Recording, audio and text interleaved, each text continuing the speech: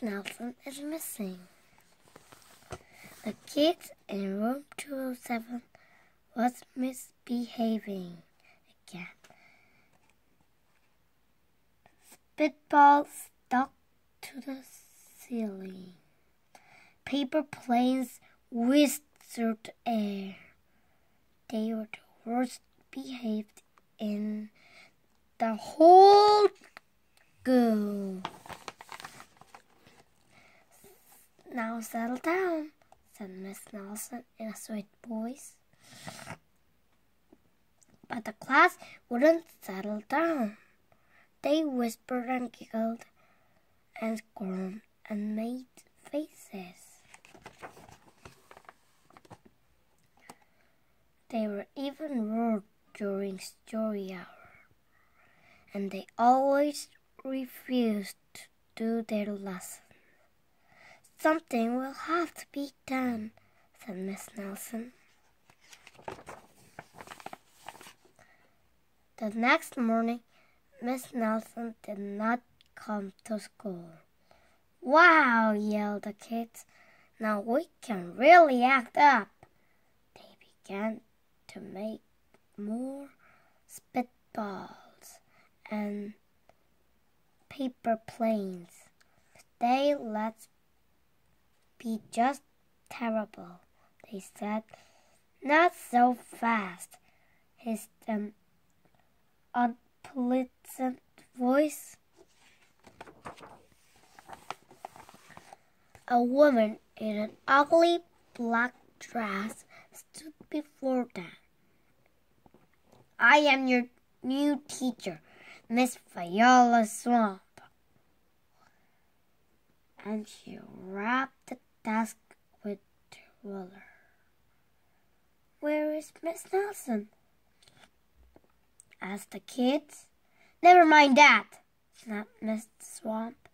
Open those amateur, amateuric books, Miss Nelson.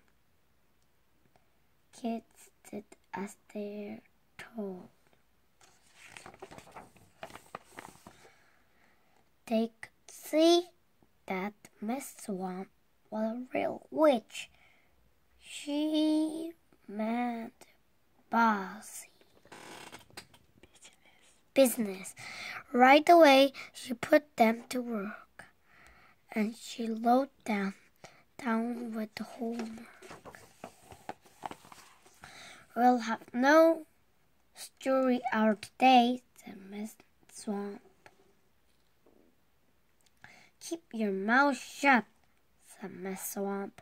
Sit perfectly still, said Miss Swamp. And if you misbehave, you'll be sorry, said Miss Swamp. The kids in room 207 never worked so hard. Days went by, and there was no sign of Miss Nelson. The kids missed Miss Nelson. Maybe we should try to find her, they said. Some of them went to the police. Detective Miss Mark was assigned to the case. He listened to the, their story. He scratched his chin. Hmm, he said. Hmm. I think Miss Nelson is missing. Detective Miss Mark, Max Max Mark would not much help. Other kids went to Miss Nelson's house. The shades are tightly drawn, and no one answered the door. In fact, the only person they did see was the wicked Miss Viola Swamp coming up the street. If she sees us, she'll give us more homework. They got away just in time. Maybe something terrible happened to Miss Nelson. Maybe she was gobbled up by a shark, said one of the kids. That didn't seem likely. Maybe it's not went to Mars, said another kid. But that didn't seem likely either. I know. It exclaimed one know it all. Maybe Miss Nelson's car was carried up by a swarm of angry butterflies, but that was the least likely of all.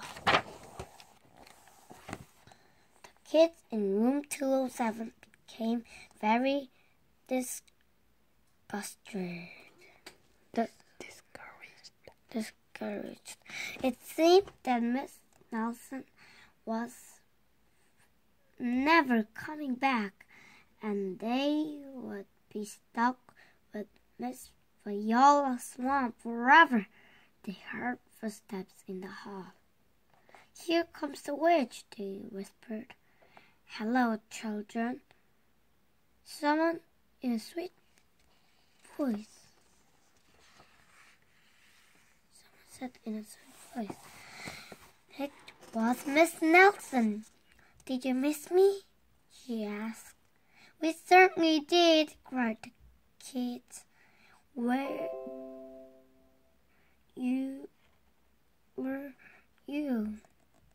That's my little secret, said Miss Nelson. How about a story hour? Oh, yes, cried the kids. Miss Nelson noticed that during story hour no one was rude or silly. What brought about this lovely change? she asked. That's your little secret, said the kids. Back home, Miss Nelson took off her coat and hung it in the closet right next to an ugly black dress. When it was time for bed, she sang a little song. I'll never tell, she said to herself with a smile. P.S. Detective Miss Mark is working on a new case. He is now looking for Miss Viola Swamp.